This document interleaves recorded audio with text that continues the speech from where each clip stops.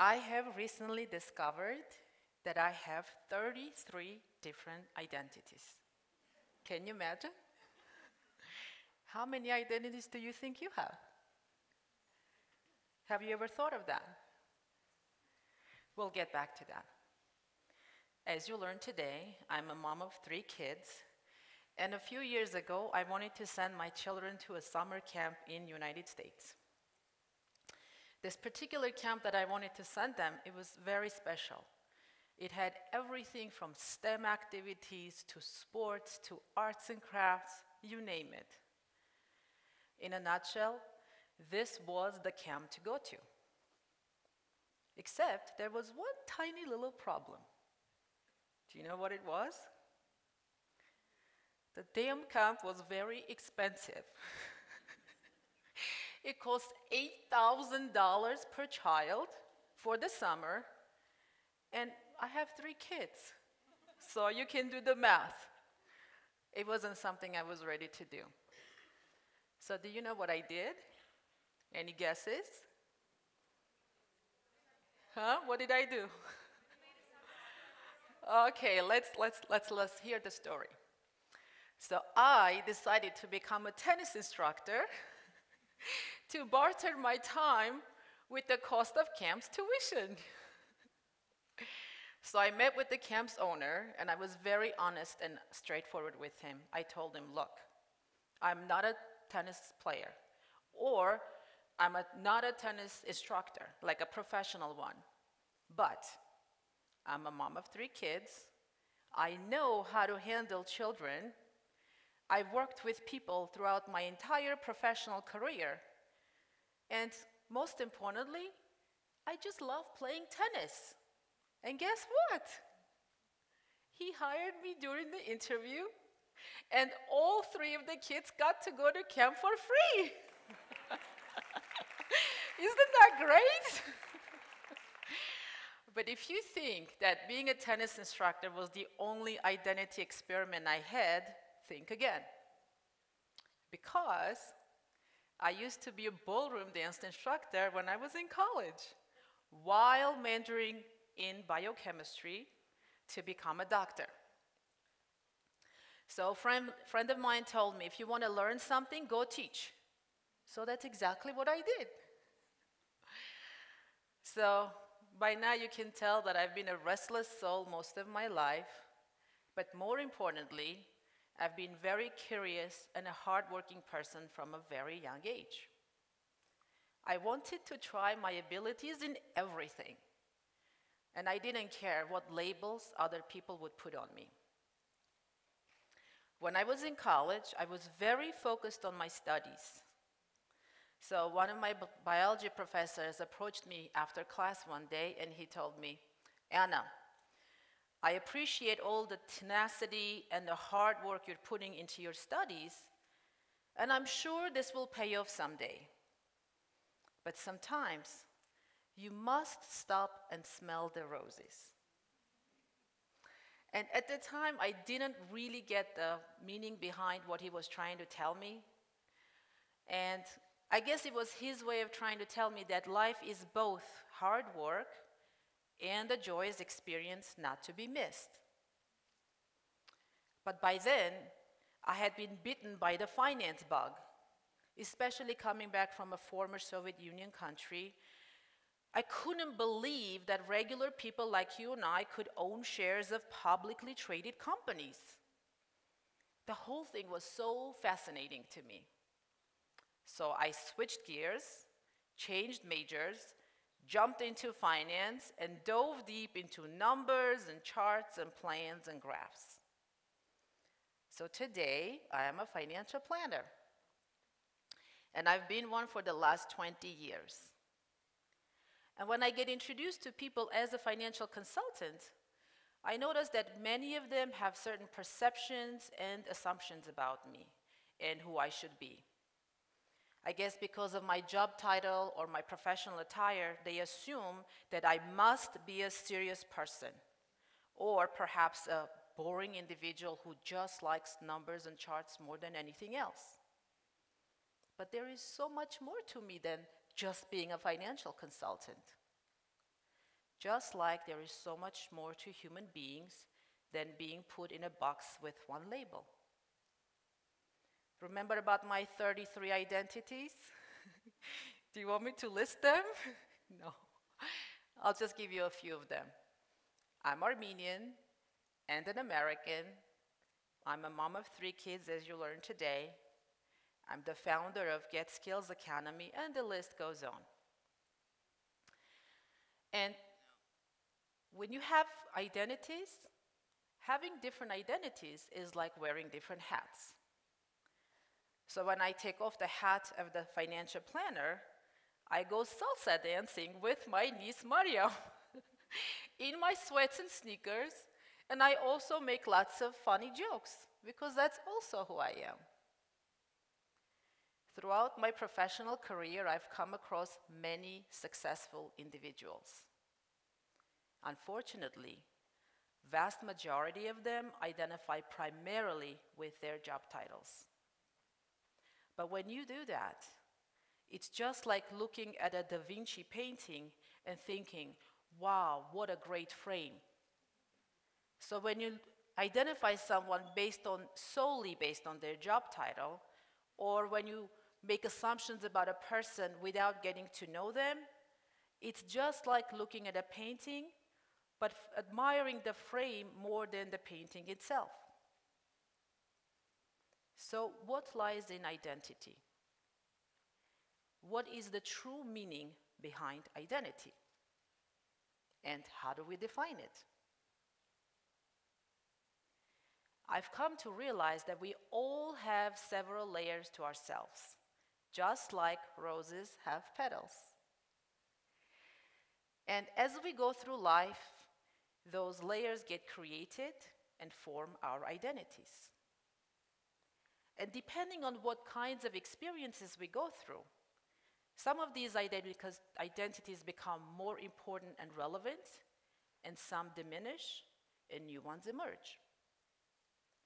And especially when we go through difficult points in our lives, those moments become the catalyst for us to form even newer, more vibrant layers to ourselves. And I have had my fair share of going through difficulties in life. I was living my perfectly planned life with daily business, weekly activities, sports and fitness, playing tennis, social commitments, when completely out of nowhere, a stage three cancer showed up at my doorstep. As you can imagine, it was a very traumatic experience for me and my family. So, was I ready for that? Financially speaking, I was ready. I was prepared. I had spent years planning, investing, and saving for precisely moments like these. But mentally and emotionally, I was not prepared at all. While going through chemotherapy treatments, I had lost over 10 kilograms. I had gone from size 6 to size 0. I couldn't even recognize myself in the mirror. My clothes were swimming around my body. So, how do you think a financially cautious person like myself would have handled a situation like that? You'll never believe it. Because I went on luxury shopping sprees, buying expensive clothes and shoes and accessories, and let's not forget about all the jewelry that I purchased. I was spending money for size zero Anna as if there is no tomorrow. Even though in the back of my mind I knew that eventually I would complete the treatments, probably gain the weight back, and most likely not fit into any of those new clothes, still, it's as if I had completely lost my rational mind. For a while, battling cancer had become my new job and my new identity and it opened my eyes to many truths that I will carry with myself for the rest of my life. But eventually, after winning the cancer battle and slowly coming back to my usual self, I've come to realize that I had to be taken to the edge of my life in order to learn to embrace my emotions. Cancer was the way the universe told me to go back to my roots and to re examine myself, to re examine my fundamental values and beliefs, to figure out who I really am. Why was I put on this earth? What's my purpose in life? And more importantly, what will my legacy be?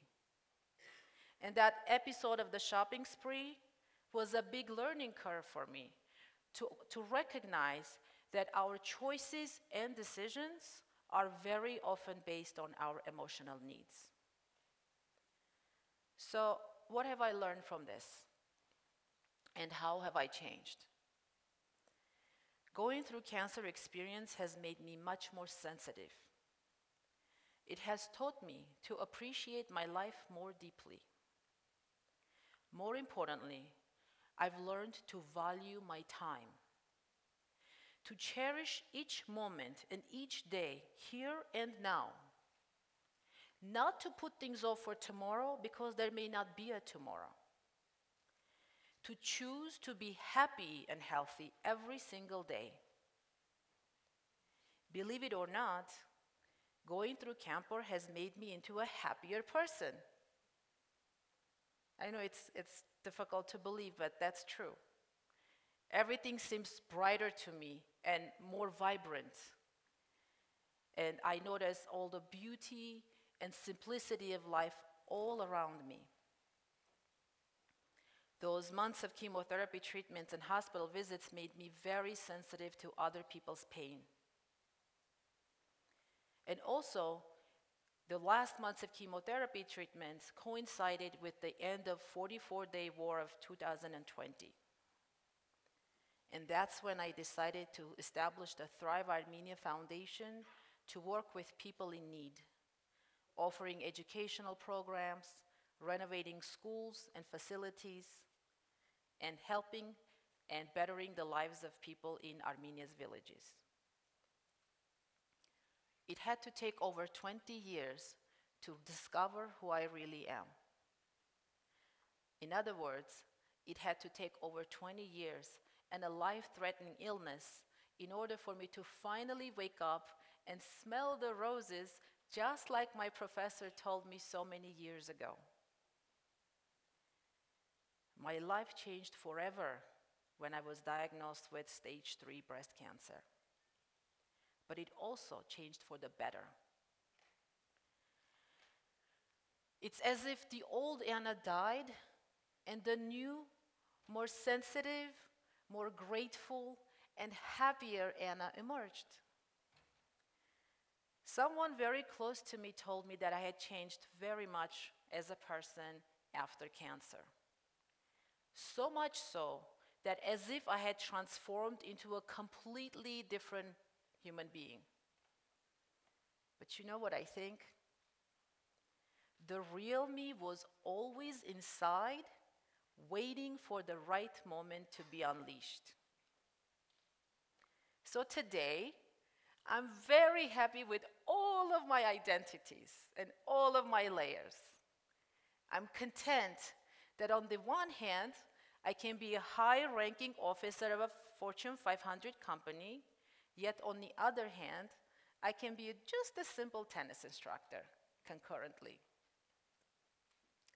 Now I choose to identify first as a mom and wife, a person with strong sense of empathy for other human beings, who happens to be a financial consultant, who happens to love to play tennis and skiing and dancing, adventure,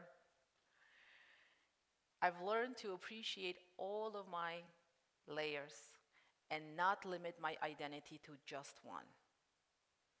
In nature, there is no flower with one petal, just like there are no human beings with just one layer. So when I look at all of you here today, do you know what I see?